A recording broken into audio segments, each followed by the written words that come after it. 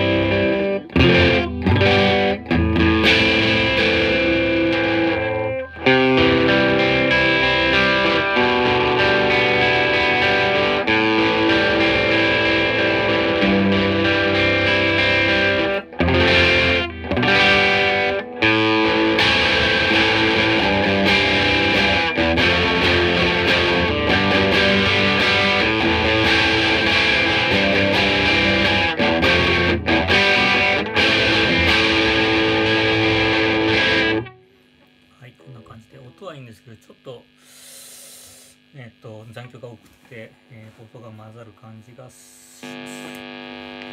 で踏んでみて、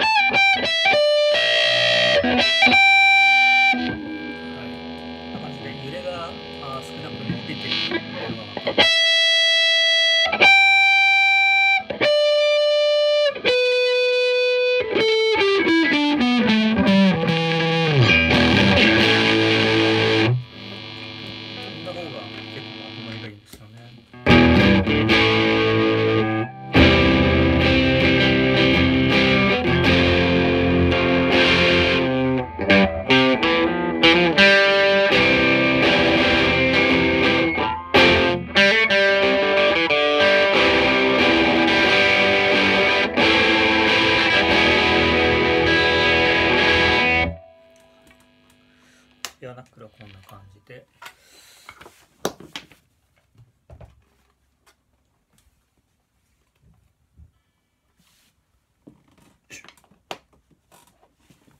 先ほどのトム・ホームズ的なに巻いてみた感じのやつと比較するとこんな感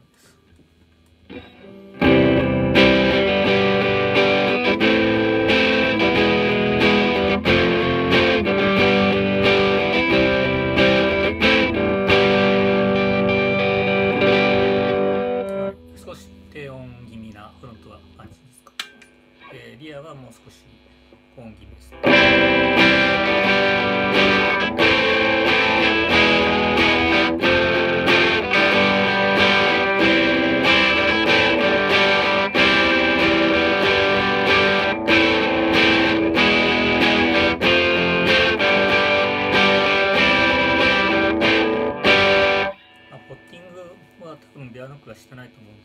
こっちの方は、